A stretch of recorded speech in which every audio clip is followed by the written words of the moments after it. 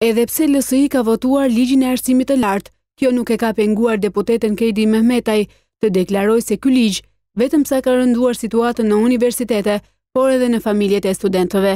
Në interpelancën e thirrur me Ministren Lindita Nikolla, deputetja e LSI-së tha se situata në arsimin e lartë është e rëndë dhe kjo për faj të Ministrisë së Arsimit, edhe pse kjo ishte paralajmëruar që në 2015-ën, Kohë kur u miratua ligji. Është një debat që ka nisur qysh me pranimet në universitete vitin e kaluar, ku edhe kuptuam se për ju, jo vetëm përmbushja e detyrimeve dhe mbajtja e fjalës nuk kishte rëndësi, por ishit të gatshëm të shkatërronit ëndrrat e mijëra të rinjve shqiptarë vetëm e vetëm për të mos pranuar dështimin. Reforma juaj, përveçse ka prodhuar kaos edhe konflikt, Ministrja e Arsimit, Lindita Nikolla, e thirrur në interpelancë nga opozita, premtoi se aktet nënligjore do të jenë gati brenda muajit shkurt. Janë vetëm 3 VKM pa miratuar nga aktet nënligjore të cilat përmbyllen brenda shkurtit, janë realizuar 100% e udhëzimeve të ministrit. Kejdi Mehmetaj dhe ministrja Nikolla nuk kanë kursyer, as akuzat dhe ironitë personale. Në radhë të parë, ndër kolegët tanë, ka studentë, ka profesorë,